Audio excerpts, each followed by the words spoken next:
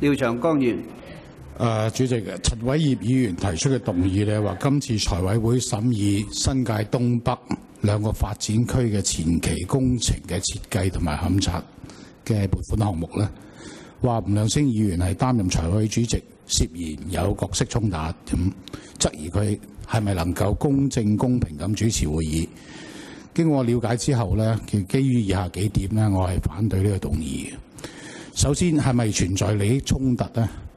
對一個會議主持者嘅主席啦嚇，咁當然係一個重要嘅一個問題啦嚇，亦都會受到關注，理應受到關注添。但係有關問題，事實上係咪存在利益衝突？係咪應該作出申報？係咪應該主持會議呢？繼續咁冇人係比當事人更加清楚，亦都冇人能夠替當事人做出決定。呢啲係個別議員本身嘅責任。議員亦都要為自己所作嘅決定咧負責，承擔後果。呢個係一個首要嘅原則。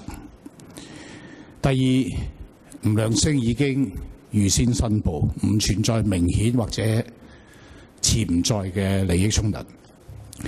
佢喺擔任上市公司獨立非執行董事咧，同議員職務咧係冇完全係完全冇任何抵觸。佢擔任財委主席亦都符合財委會議事規則。第十三條嘅規定。第三，今次動議提及嘅兩間獨立公司係不同嘅法人，從事截然不同嘅業務。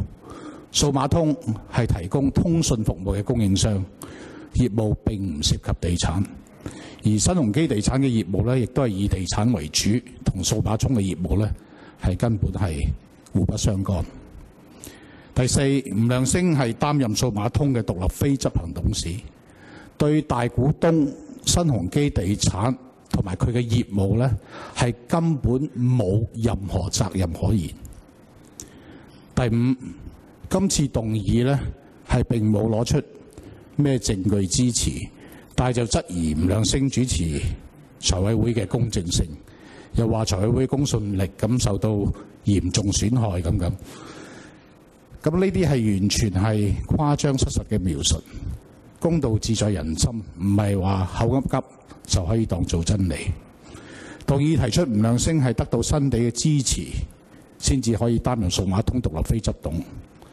咁正話，我覺得正話話投票嗰證據咧，係每一個董事都會誒、呃，會得到大股東嘅支持先做得董事，並唔代表咧係得到新鴻基嘅支持咧。